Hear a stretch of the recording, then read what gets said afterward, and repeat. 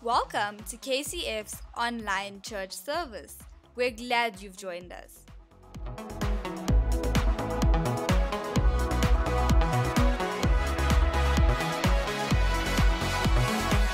Waking up knowing there's a reason. All my dreams come alive. Life is for living. With you, I've made my decision.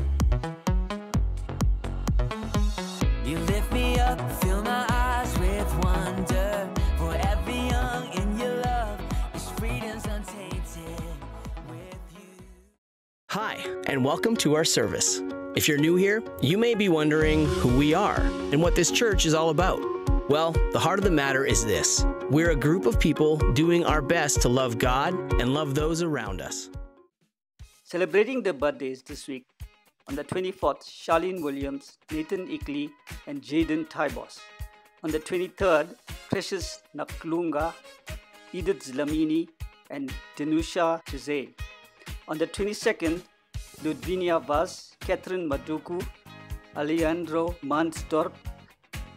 On the 20th, Marcel Depries and Angela Iqbal. Celebrating the anniversaries this week. On the 24th, Anthony and Tracy Naidu. On the 21st, Marlon and Sandra Modley. And Pastor Srini and Pam Marimoto. On the 20th, Wayne and Ursula Coventry.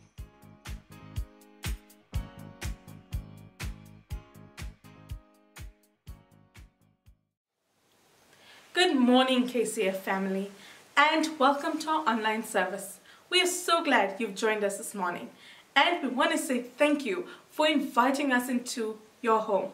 We pray that even as we continue this morning, I would encourage you to stand up with us, gather your family around, and let's worship God together. Amen.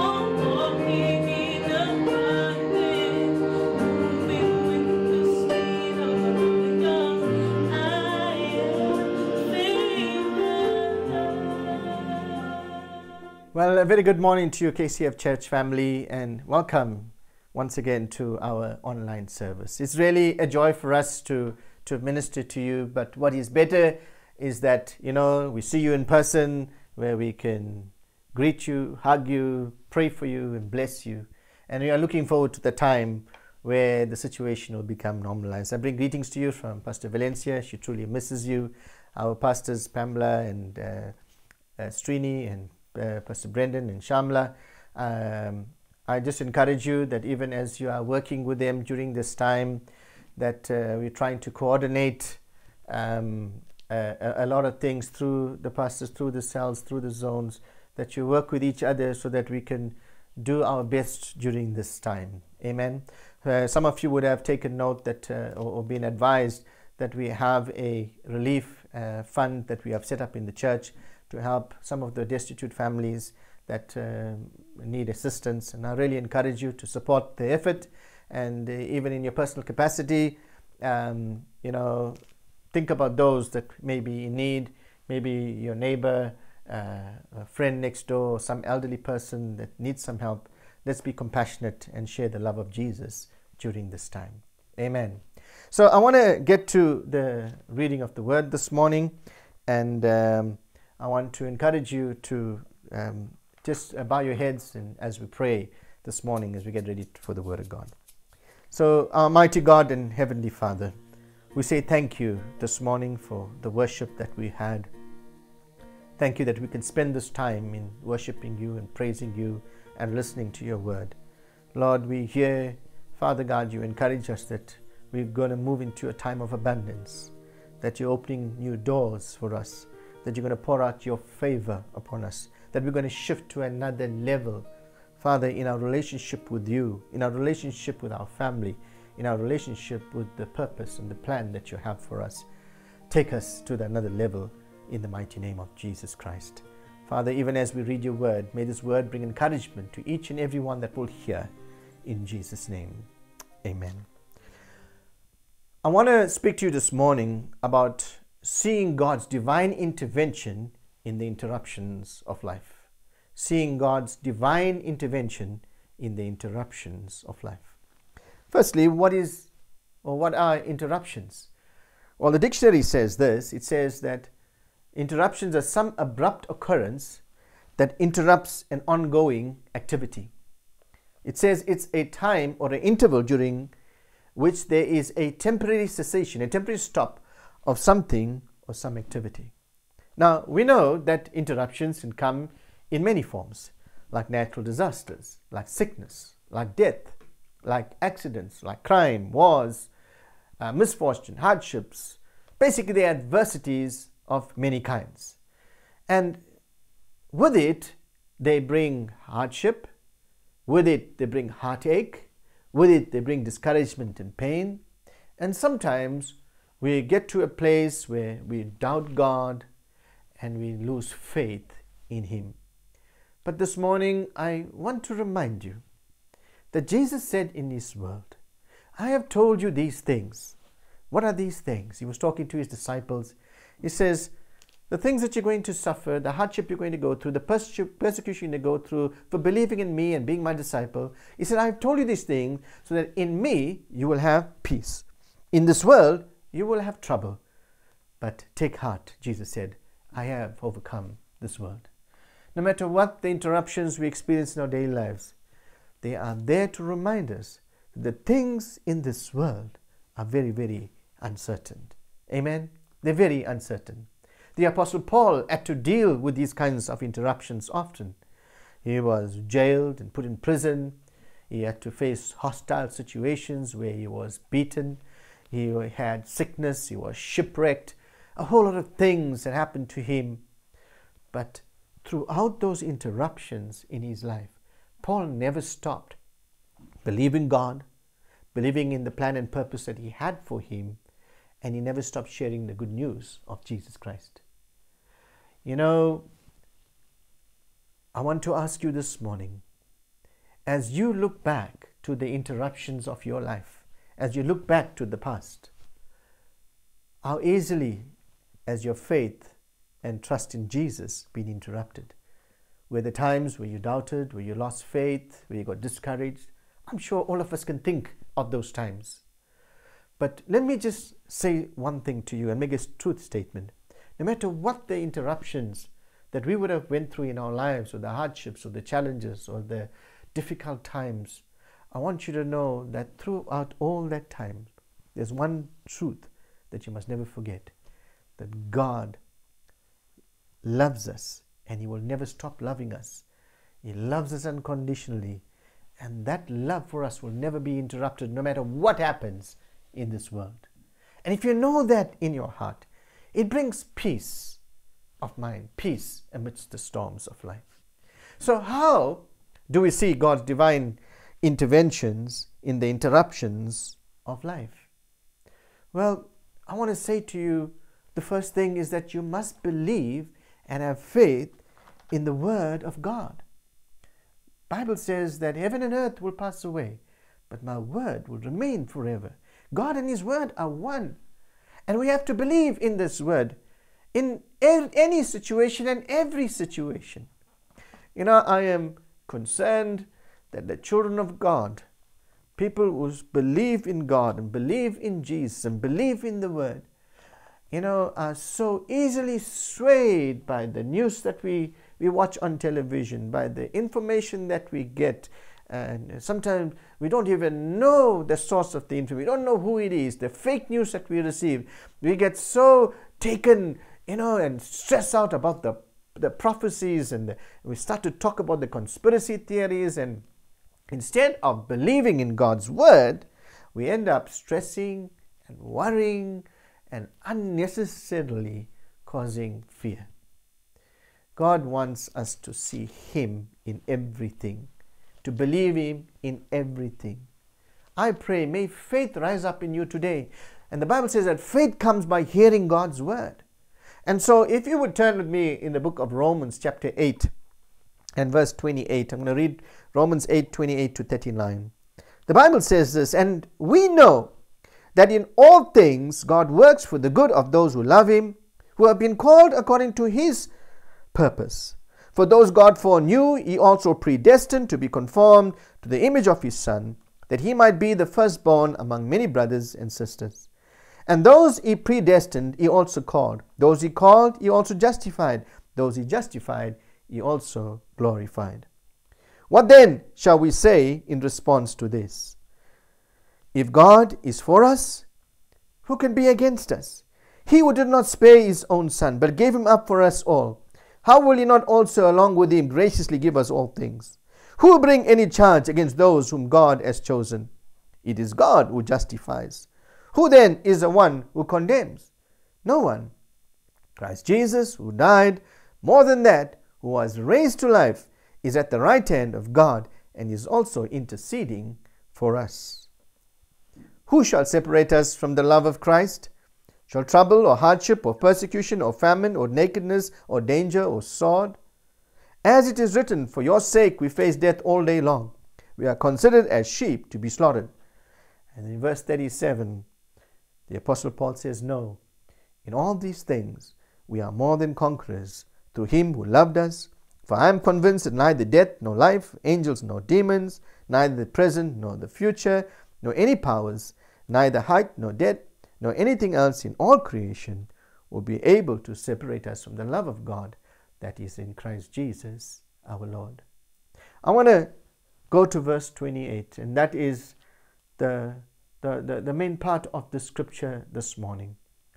And it says, And we know. What is it that we know? We know for certainty from this word from the Word of God. We know from our own experience. And we know from all the heroes of faith that Hebrews 11 talk about that in all things, in all things, not some things, in all things, God works for the good of those who love Him, who have been called according to His purpose. Someone once said, If you look for bad, you will find bad. If you look for good, you will find good. You always, in life, you always find what you're look, looking for. The secret is what you choose to see, what you choose to see in the interruptions of life, in the challenges of life, in the hardships of the life, what do you choose to see? That's the secret. So let's look, let's look at some examples of how God works all things for good. I want you to pay attention now because I'm going to ask you some questions. And the question I'm going to ask, uh, ask you, you will answer either A, B, or C. Man's plan, A. B is Satan's plan. C is God's plan. Now, there is no right or wrong answer, and you could just uh, maybe shout out wherever you are. And so, I want to uh, uh, look at the story of Moses recorded for us in the book of Exodus. Where we read the account of Moses when Moses was born, the Bible tells us um, that Pharaoh gave an order for all the Hebrew boys to be killed at that time. So I want to ask you a question. Was that order that Pharaoh gave, was it man's plan? Was it Satan's plan? Or was it God's plan? Okay. All right. Then when Moses' mother could not hide him any longer, and she put him in a basket and she placed him in the Nile River, which was said to be full of crocodiles, was it A, man's plan? Was it B, Satan's plan? Or was it C, God's plan? Okay, let's move on. When Pharaoh's daughter found baby Moses and took him as a son to live in the palace as a prince, was it A, was it B, or was it C?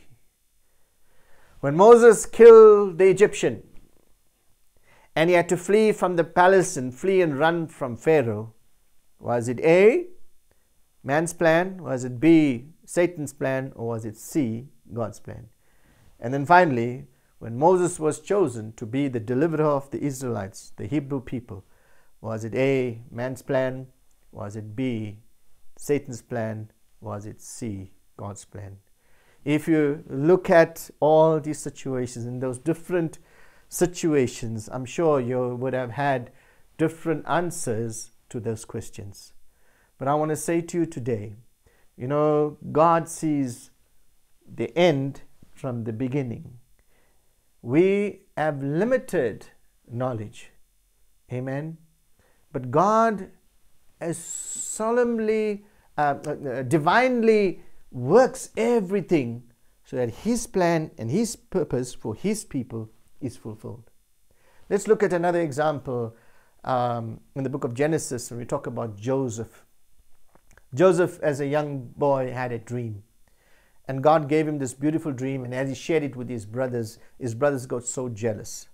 So, answer A, B, or C. When Joseph's brothers were jealous of him and threw him in a pit, was it A, man's plan? Was it B, Satan's plan? Or was it C, God's plan? When they sold him to the Ishmaelite as a slave, was it A, was it B or was it C? When he was sold to Potiphar, Potiphar was one of Pharaoh's officials. Was it A, B, or C? When he was falsely accused and put into prison, was it A, man's plan, B, Satan's plan, C, God's plan? When he was asked to interpret Pharaoh's dream, was it A, B, or C? When he was put in, in, in charge of Egypt and had to come up with a strategy of how during the time of famine, uh, during the time of abundance, to save for the time of famine, was it A, man's plan, B, Satan's plan, C, God's plan? When eventually his family, who was starving uh, and came to, had to come to Egypt to find food, and Joseph provides for them and saves the, the, the entire uh, Hebrew uh, people then, was it A, man's plan, B, Satan's plan, or C, God's plan. In Genesis 50 and verse 20, Joseph said this to his brothers. He says, You intended to harm me, but God intended it for good to accomplish what is now being done the saving of many lives. The saving of many lives. We can talk about uh, Job and all that happened to him and ask our question was it man's plan? Was it Satan's plan? Was it God's plan? When you look at the Jesus and all that happened to him at the various uh, stages of his uh, journey to the cross, was it man's plan, Satan's plan, God's plan. We can talk about Paul, his life as an apostle, spreading the gospel, moving from city to city, and all the challenges he faced. We can talk about Peter, all that happened in his life. Was it A, man's plan, B, Satan's plan, or C, God's plan? See, when we look at it, you know, when we see the big picture, we can draw a conclusion that we know in all things God works for the good of those who love Him and to those who are called according to His plan and purpose. Let me ask you a final question. The coronavirus, is it A, man's plan? Is it Satan's plan? Or is it God's plan? In verse 31 of Romans 8, it, the scripture says, What then shall we say in response to this? If God is for us, who can be against us? And the obvious implied answer is nobody. He who did not spare his son, but gave him up for us all, how will he not also, along with him, graciously give us all things? Who will bring any charge against those whom God has chosen? Nobody. It is God who justifies. Who then is the one who condemns? No one. Christ Jesus, who died, more than that, who was raised to life, is at the right hand of God and is also interceding for us. Who shall separate us from the love of Christ? Who shall separate us from the love of Christ? And the obvious implied answer is nobody. Shall trouble or hardship or persecution or famine or nakedness or danger or sword? Verse 37 says, No, in all these things we are more than conquerors. That's right. More than conquerors through him who loved us. For I am convinced that neither death nor life, neither angels nor demons, the present nor the future, nor any powers, neither height nor depth, nor anything else in all creation will be able to separate us from the love of God that is in Christ Jesus. Are you convinced this morning? Let me just share with you a quick a few points quickly. Number 1, interruptions reminds us that we are not in control. You know, we love to be in control. We love power. We love to know what is going on, what is happening. But interruption reminds us that we are not in control. Number 2, Interruptions help us to refocus on what's important. Right now, we are refocusing on the two most important things our family and God. Amen. Number three, interruptions, they test our faith and help us to develop character. They test our faith. In James, he said, Consider it pure joy when you go through trials and testings of many kinds. For the trials and the testings, the interruptions in our life, for the trials and the testing produces in us perseverance. Perseverance must finish its work so that you can become mature, not lacking anything. Number four, interruptions. They humble us. They cause us to go, get before God and say, Lord, I am not in control. I need you. The world, the world is looking to God in this time. This would not happen if we didn't have this interruption. So I want to encourage you, children of God. Believe in God's word. Amen. Whatever the interruptions in your life, know that God will work it all for your good. Because He causes all things to work for the good of those who love Him and to those who are called according to His plan and purpose.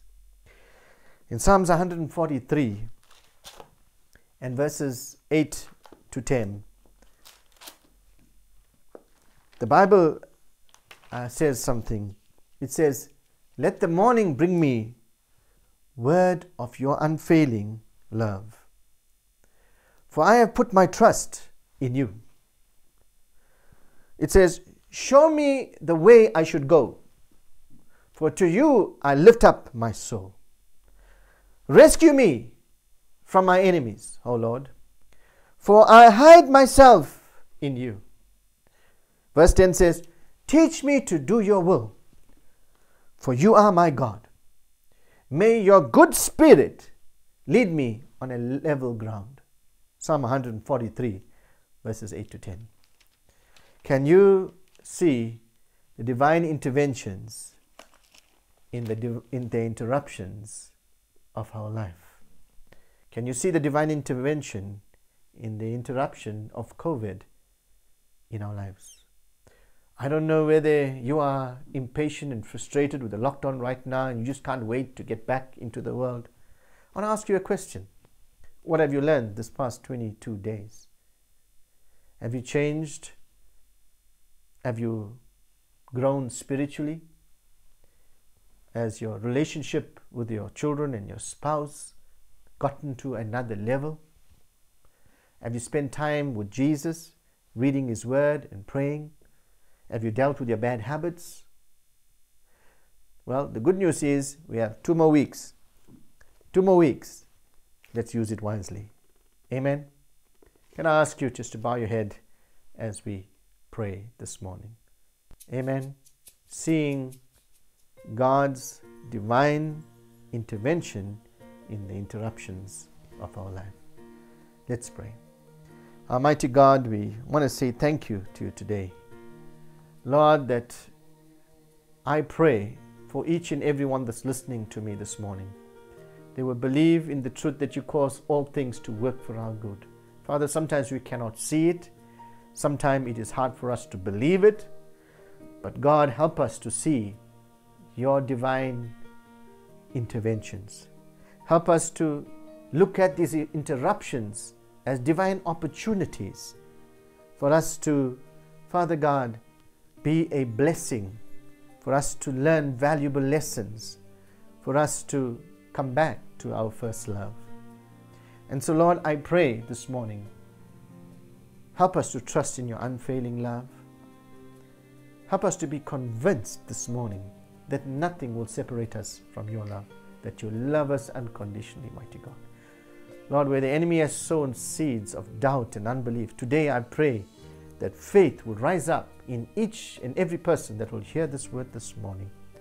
And I pray especially for those this morning that maybe you don't know Jesus Christ, maybe you don't um, know Him as your personal Savior. This morning, I want to give you an opportunity to make Him the Lord of your life. And wherever you are this morning, would you pray this prayer to make Jesus your personal Lord and Savior? Say, Lord Jesus, I thank you. I believe that you are the Son of God.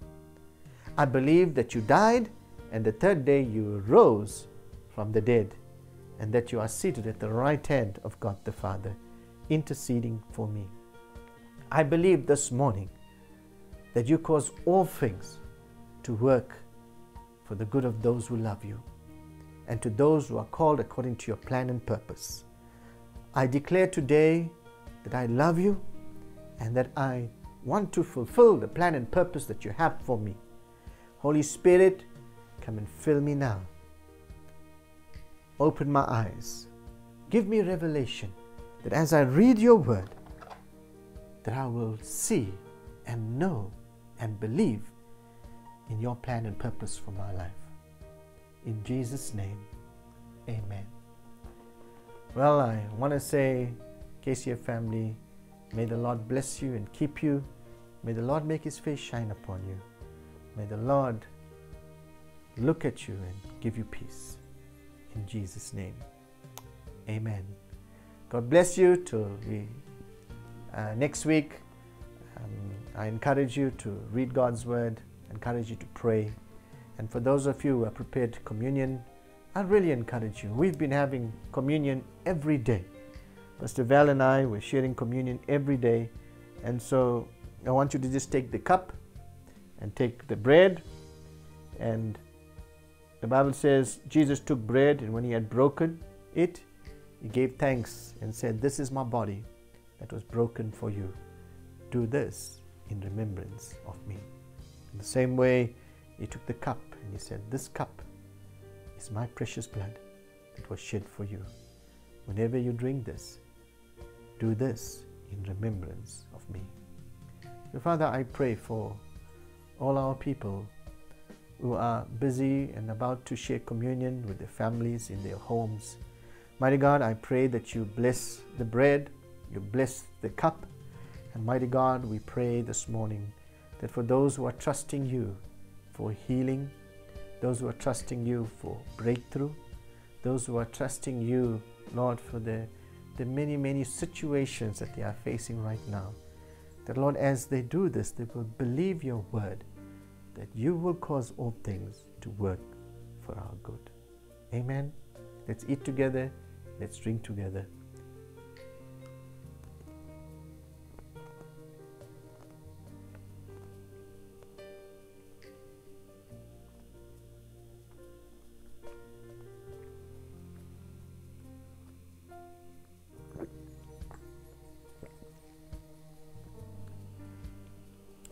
The Lord bless you. Have a wonderful week going further. May the good Lord help you to see things, look at opportunities where you will see His divine intervention. Amen. God bless you all. Bye bye. Thank you for joining us today. For more videos and more content, please press the subscribe and like button. Have a blessed week.